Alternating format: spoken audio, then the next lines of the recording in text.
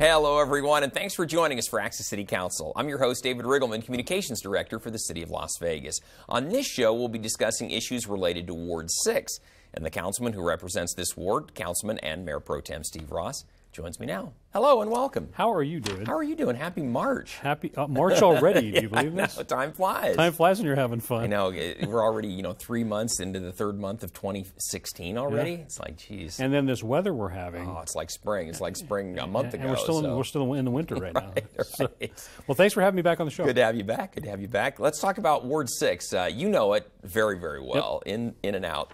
For the folks out there that aren't exactly sure, we'll show you where Ward 6 is located. It's the, the top of the valley, uh, the, the northwest area, as Councilman says, the great northwest. And if you live in that area, work in that area, of course, you are in the city limits of the city of Las Vegas, and you're out there in, in good old Ward 6.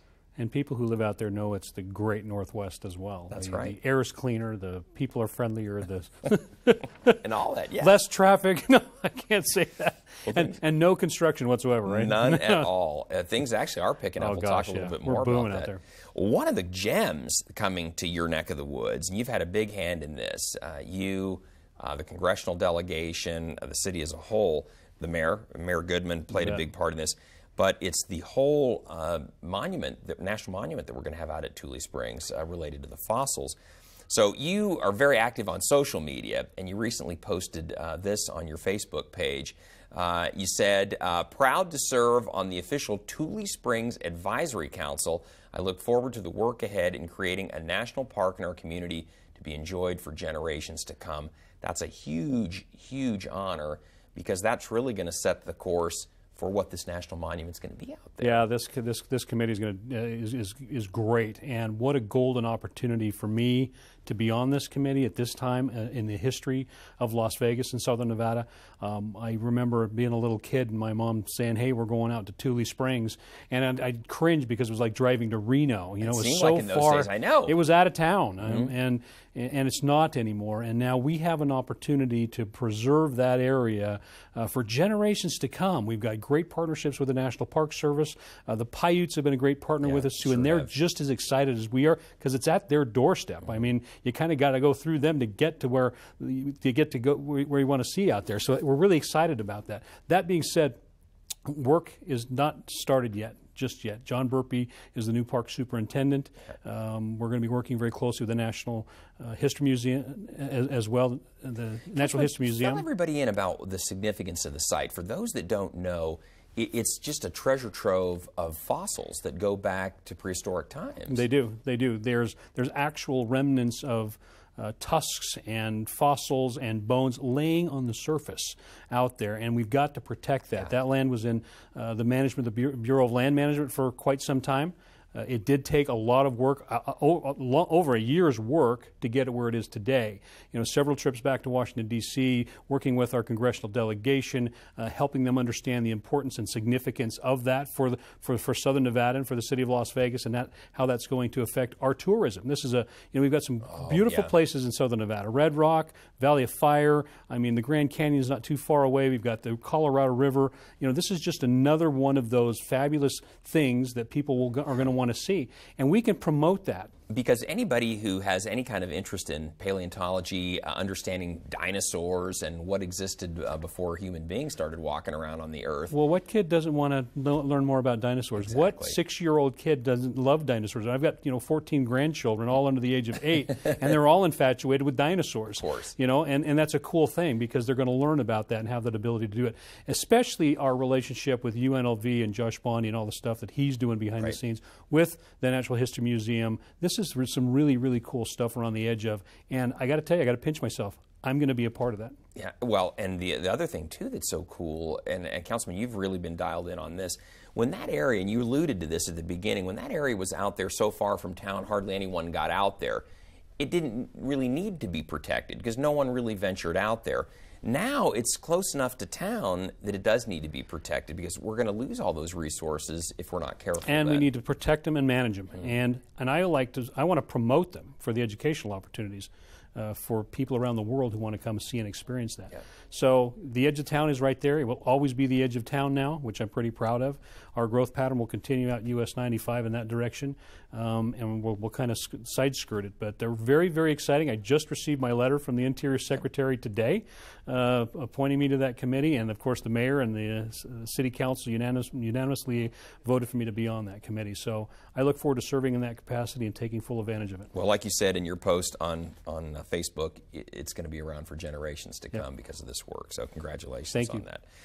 Another big event, last time you were on the show, you talked about Crime Prevention Night. Yeah. And we talked about we really wanted people to come out and learn about that. So you posted on Facebook. Uh, thank, uh, thank you to everyone who supported Crime Prevention and Preparedness Night. If you missed my newsletter, this week uh, we'll have information from the event. Uh, obviously it was well received. This is what we heard, some of the things, uh, some of the feedback. This comes from Larry Schultz. He said, very helpful and educational event. Well done. So thanks, Larry, for, uh, for responding on that. But sounds like it was an event that uh, people could really have a lot of takeaways from. It was a crowded event. Uh, well over 200 people attended that uh, event that night, and necessary because there's there's there's a, a, system out there that reports when, when a phone call gets made to 911 and that there's a crime reported in that location. And we learned through that that at that night that that's not always the case. If the call gets made, it gets reported, and those crime statistics are watched by a lot of people who live all throughout the valley exactly. in regards to the crime in their neighborhoods. So I get a lot of emails and a lot of phone calls about actual real crimes going on that that, that, that do happen. Then then those reported crimes when someone dials 911 that there's just not that much crime going on in the neighborhoods. We have found in Ward 6 in Centennial Hills there's that's the least part that's the least crime-ridden area of the, of the city of Las Vegas. But uh, it was w- very well attended. Of course, we had the sheriff out there with uh, uh, his folks. We had our own uh, chief William McDonald with us. We had yeah. Dr. Slattery out there as well. Uh, we had the Metro volunteers. We had the uh, Metro Explorers out there. Uh, uh, we were doing hands only CPR training. It was a great event, and people got a lot of their questions answered by those who could when it comes to public safety and crime prevention. Yeah. Good, good for you. Kathy for Castle was out there too from Northwest Area Command, who does the crime. She's a crime prevention specialist, so she gave a great presentation. And interestingly enough, the residents and constituents that came, they came with some great oh. questions. What was the takeaway that you took from it? Something you learned that night that uh, kind of surprised you? It was actually that crime reporting that mm-hmm. people can look up and see where, where the crimes taking place in their neighborhoods.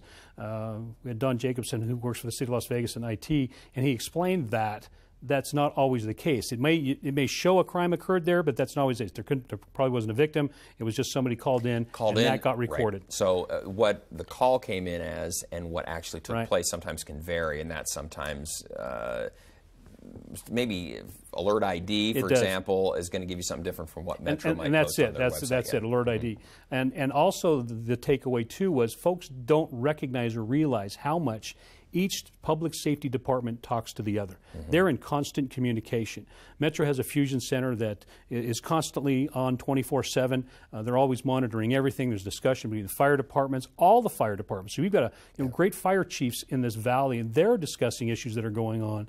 Uh, you know, there's been always talk about uh, Las Vegas being a target uh, of terrorism, which we don't ever want to see that. But I have to tell you, the men and women who are protecting the citizens of this city and this valley are the ones in, are doing the right thing, and they're the ones we want. Well, good deal. It sounds like it was a great event. A great event. You'll have more information, as you said, on your Facebook site if you missed if you missed the if you missed the evening. No problem. Councilman, let's shift gears a little bit. Talk about some things going on in Ward Six. Uh, recently, back on February eighth, uh, you, me, and other city staff went out to look at uh, the Silverstone um, community again. This is where, for the folks that aren't familiar, this is the golf course community uh, where the golf course was closed, or the owner of the course said it just can't make it go anymore. So now the residents are pretty concerned about what's going to happen to our, our golf course community if the golf course is gone. And it's actually golf courses. And so we were out there again making sure in the meantime that the place just doesn't go to weeds. And that's the big concern of the neighborhood. So I wanted them to know that we are still monitoring the situation, that uh, it is still forefront in our minds of, of, what's happening and what's not happening. You know, part of that, a large portion of that is a drainage easement uh, that's part of our drainage system, a bigger system in, in the, on that side of town. But uh, it was great to see the turnout from the neighbors. I'm constantly getting texts, tweets, uh, messages on Facebook about what's going on, what's not going on. So the neighbors are watching. Uh, I'm really concerned about when the, the heat when it starts getting hot again, which it is right now, as a matter of fact, and then the condition of those ponds and that existing water. But I can tell you, Vicky Ozuna and our code enforcement officers, this is a, a, target for them as well. They're monitoring everything that's going on. We're monitoring the grass, whether it's getting watered or not. Um, certainly, uh, the folks at Silverstone uh, have some litigation going on right now in the courts, and that pl- that's going to have to play itself out.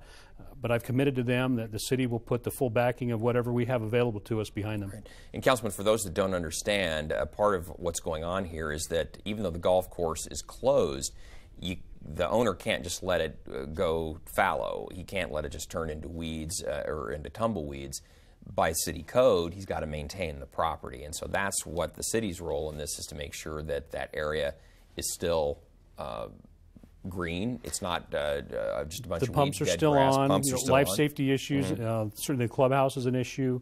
Uh, we did have some vandalism going on, but so far so good with uh, who's managing it right now, and that communication level exists, which is good to see.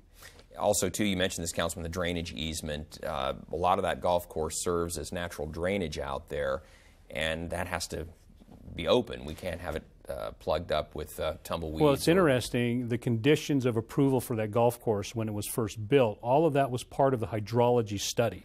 So those flows of water coming across the desert floor into the detention basins, all that is taken into accountability. So you can't let the grass overgrow. You can't take the grass out. You have to have the right vegetation in there. You can't just you know put take out a bunch of rocks and, or put some decomposed granite in there. All of those elements are part of that hydrology study and part of their conditions of approval when they got built. Speaking of hydrology, floodwaters, uh, remnants of the Carpenter One fire still, uh, uh, it's been what, three years ago now, still hanging in there. And those folks still remember, uh, remember what was going on during that time period and how reactive we were when uh, you get six inches of rain in three hours in Kyle Canyon, and it devastated the mountain. I mean, you, we saw the pictures. I see the flashback now, the devastation of the picnic areas, the roads. I mean, yeah. it was devastating. Jerry Walker again, you know, came over to my house and picked me up and said, "Come on, we got to go look at this."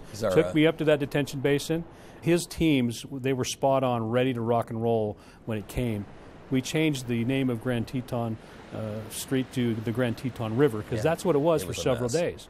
And uh, for, you know, grateful for you folks that were patient with us as we dealt with that issue. Uh, we're not going to see that again. Certainly not in a.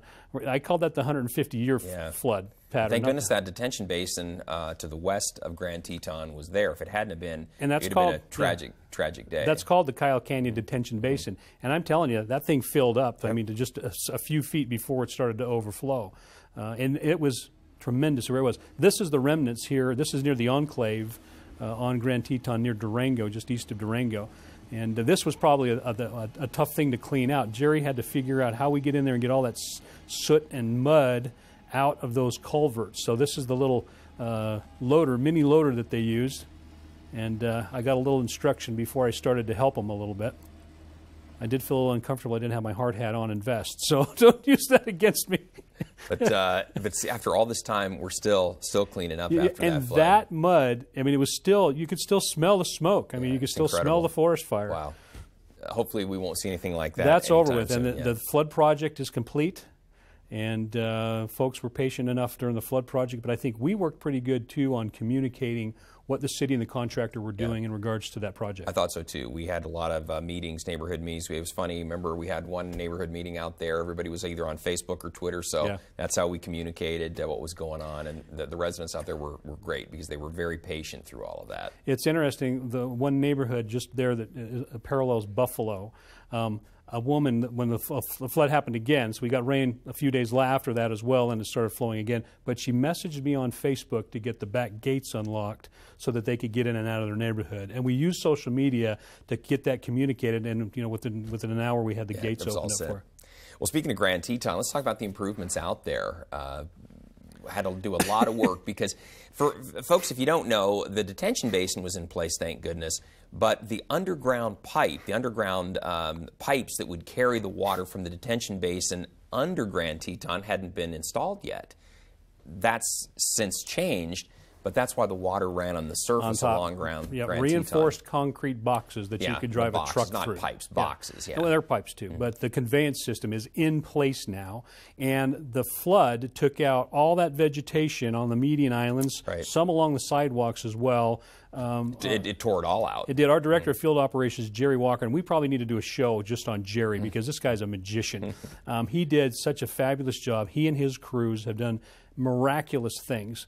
But uh, it's great to see what he's doing now to repair the damaged medians. You've seen throughout the city of Las Vegas sculptures in our medians. Mm-hmm. Um, you've seen it up on, uh, uh, on up on Cheyenne. yeah, ramparts. See it yeah. on Rampart Boulevard. right. It's all over the valley. Uh, but now he's working on on Grand Teton, and he's doing a fabulous job. it's gonna I- be I mean, all of the wonderful statues that uh, that he's putting up out there. And what's exciting is people are looking forward to it. And it's funny because people will call up in a neighborhood farther down Grand Teton. Hey, are, we you guys going to do Yeah, ours? Yeah, when's that coming down? Well, the cool thing too is, you know, Arbor View High School is right there. Right. And you know how high schools are about pride, so we're going to do something special for them. Oh, nice. Uh, and, and and try to do something for them in the median along uh, Grand Teton that, that parallels the high school. they're the Aggies, right? High up Yeah, the yeah. Aggies, right, the, right. the Arbor View Aggies, and so I've kind of I've talked to their uh, assistant principal about it and got some of her ideas. But uh, so Jerry's got some more work to Nice. do. But I got to tell you, every council member is going to want this in their ward, and uh, I'm really excited about uh, uh, you know all of these wonderful sculptures that you see uh, at the, the end product that, that's going to be there. So everybody should get excited about that. Sounds good. Councilman, I want to tell everybody too. You have some events coming up. Uh, you have four big events coming up uh, just in the next few weeks. You have a, a coffee with the Mayor Pro Tem on St. Patrick's Day, March 17th. There it is, from eight to nine. This is going to be at the Great Harvest Bread Company. Do you have to wear green that day? That? You, you better wear You green. You better wear that green. That's right. It's, it's St. Patty's Day. And, and I've been told by staff that it's not Irish coffee. So, and, and I don't drink coffee, but uh, come on down there anyway, folks. Yeah, Uh, come on down and chat, and let's talk about what's going on. We'll talk about the Grand Teton improvements, as a matter of fact. And if uh, my staff will remind me, Christine reminds me, I'll bring some pictures and uh, bring a map of what it's going to look like. Sounds and, good. And uh, you know that's uh, that's a growing area down there. So, folks, love to see you down there. Come down and, and hang out with me for a while. Wonderful tradition out in your ward, uh, the spring celebration and uh, Foster Connect. This is April 2nd from noon to 4. And this is a wonderful event that connects foster kids with families. Uh, wonderful opportunity. So if you're interested in that, you got maybe that something tugging on your, uh, your heart, maybe to consider adopting a child or consider uh, being a foster parent. That's a wonderful uh, event to attend. all of the vendors, well, I won't say all of it, all all of the vendors, a lot of the vendors associated with adoption, foster care will be there. So, folks, if you're interested in being a foster family to a child out there who uh, has less than you do, come on out. It's a great event. We get four to 4,000 people out there. Mm-hmm. My youth council, of course, will have their annual dunk tank.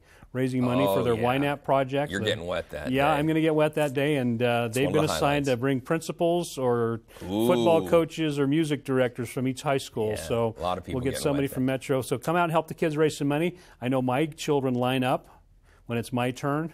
Pal, Yeah, you're going and- in. yeah, I'm going in. And we got some good video of that in years past. So yeah, we'll be out there. That's a great event, folks. It'll be. I mean, it's it's free to the public too. We open up early for the foster families, so their kids get to do it. There'll be a carnival out there, face painting, the whole nine yards. All right. And then on April 22nd, movie in the park coming up already. Movie in the park time. I am just shocked. It's that time already.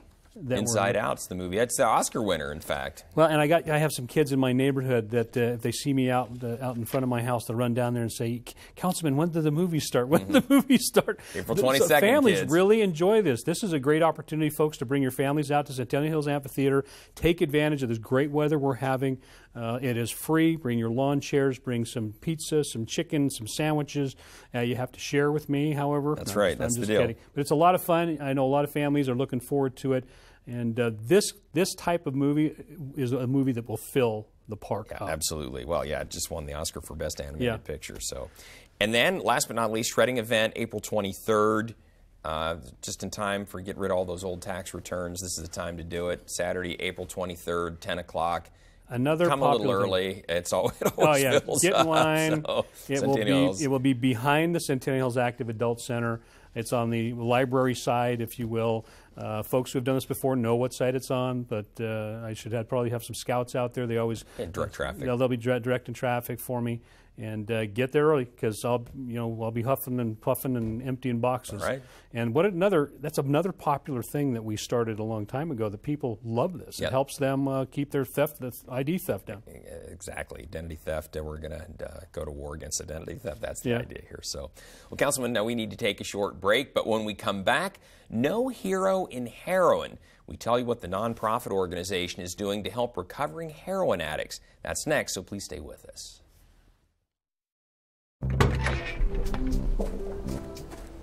When you throw away money on wasted electricity, you're throwing away everything you could have bought with it. Saving energy saves you money. Welcome back to Access City Council. I'm your host, David Riggleman. Those who suffer from heroin addiction are getting much needed help from a local nonprofit organization here in town. And with us today to talk about No Hero in Heroin is Joe Engle, who's the head of that organization. Uh, Joe, thanks so much for being on the show. Really appreciate you being here. Councilman, I know this is something that's so important. We talked about this.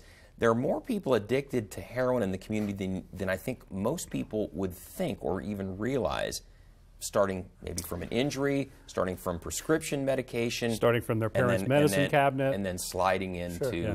Something else. You know, David, even in President Obama's State of the Union uh, address, he mentioned the uh, epidemic of heroin in this in this country, and I know every community is being affected by this. There are every family somewhere is going to be touched by this somehow, and we're not talking about it enough. Uh, you know, an opiate addict, addiction is is happening everywhere, and it's it's a, a long process. It could be doctors overprescribing pain medications. It could be a, a number of things, and you mentioned some good ones. Uh, but what Joe has done with uh, "There's No Hero in Heroin" has been a phenomenal job. This is your third year, I think. We are coming up on our third year. Coming up yeah. on his third year, but the, he's making a difference in these people's lives, and it's not just the addict; it's the other family Yeah. members that are affected by this. That's as one well. of the things that's so key. You know, Joe, I think uh, f- for people that may not know, and me included, uh, we kind of think of heroin as uh, people under a bridge somewhere uh, shooting up. But it's far from that. This Sure, is uh, in every neighborhood, in every school, uh, in every in every uh, in every part of our city now, isn't it? Absolutely, that, that is correct. It, it, it is in suburbia. It, it, it's no longer an inner city drug. It, it, it's in high schools. It's at work. It's in the libraries.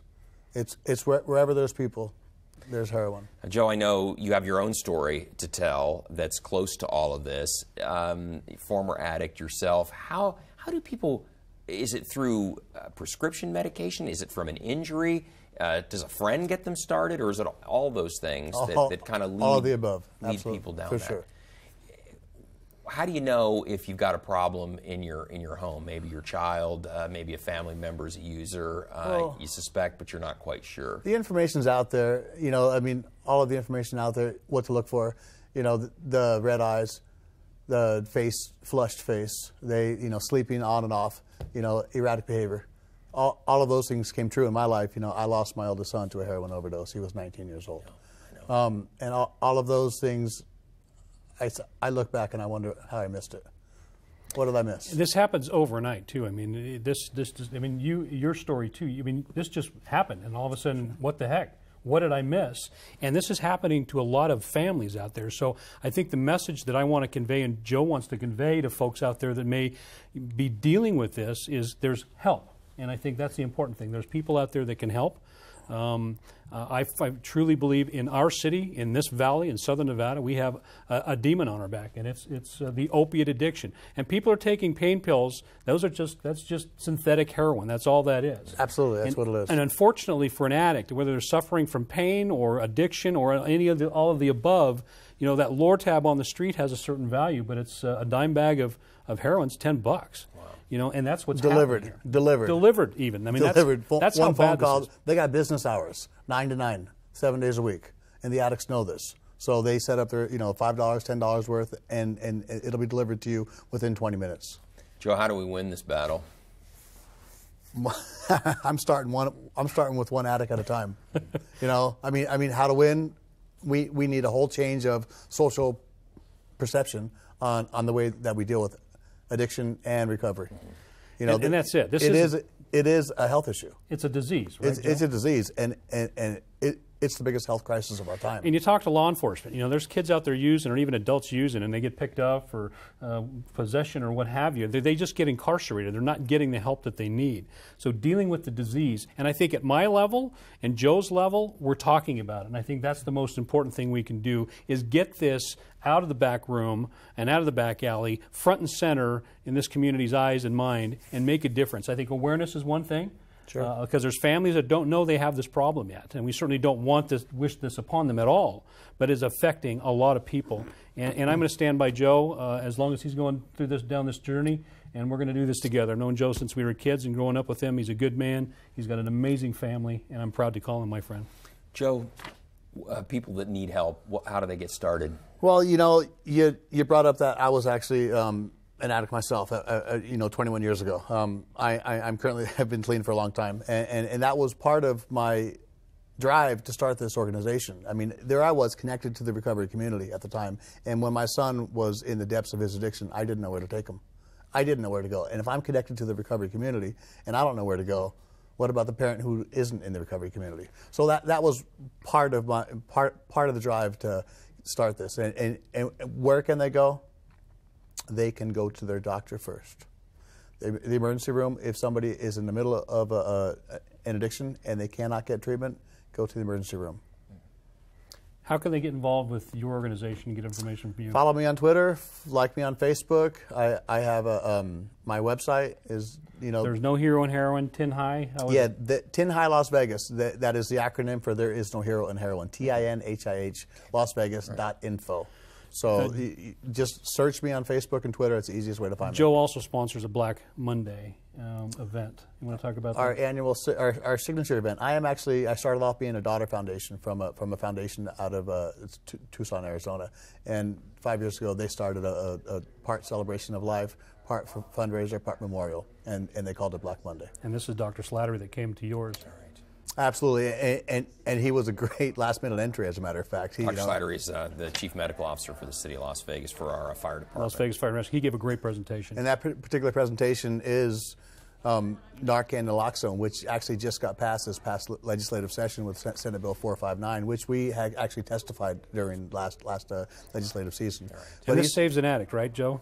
in if the first responder gets there or the parent whoever fi- finds the addict if they find somebody in the middle of an overdose of, of an opiate related overdose if they inject them with a naloxone or the nasal, nasal version narcan it actually is an opiate inhibitor.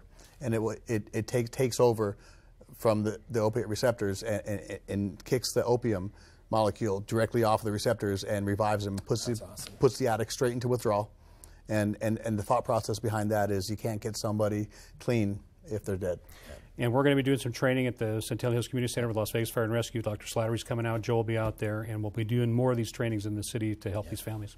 Joe, pleasure to have you on the show. Thanks for having Sorry me. for your loss, but I'm so glad that you're that. helping other people uh, avoid what you've experienced. So Thank you, David. Thank you, David. I want to tell everybody out there uh, that if you'd like to get in touch with uh, Councilman Ross, and listen, we always want to hear from you. So if you have something that you'd like to share, he is always on Facebook, always on Twitter. Uh, you can also contact him the old fashioned way. Pick up the telephone. There's the number 702 229 6154. Or you can send us an email. His address is councilman sross at lasvegasnevada.gov. Again, Joe, thanks for being on the show. Councilman, usually at this part of the show we say, hey, we'll see you in six weeks, but uh, can't say that this time. Um, you're planning to, to run for another office, so our rules say we got to put you on hiatus through that election cycle. So we'll see one way or the other at the end of the cycle. It's been a So nice run, Dave. vice versa. Thanks vice for having versa. me on. Great job. And uh, Joe, keep up the good work with you. Look forward to hearing more about your organization and uh, the good you're going to do in our community. Again, thank you. Thanks to you both. We want to thank you for joining us for this edition of Access City Council. Don't miss our next show beginning on March 17th with Councilwoman Lois Tarkanian. And don't forget, you can watch us live on the internet at kclv.tv. Thanks for watching, everyone. We'll see you next time around.